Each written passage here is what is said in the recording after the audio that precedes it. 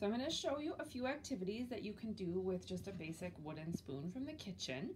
Um, we're going to start on um, on the back so that your child doesn't have to think about sitting up or moving.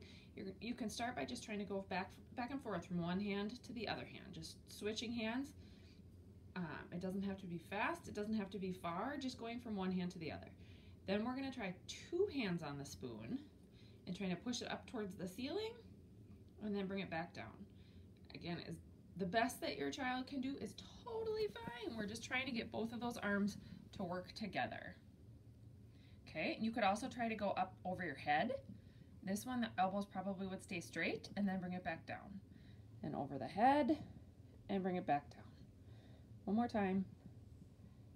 Good. We could also go side to side, back and forth across the body. Yep, there you go. Yep, just back and forth, side to side. Not, not diagonal yet, buddy. There you go. Just back and forth. Okay, now um, if your child is doing really well with this, you can try to go diagonally. So up above one shoulder and then down to the opposite hip. And then we can try the other way. How about the other shoulder? There you go, and down towards the opposite hip.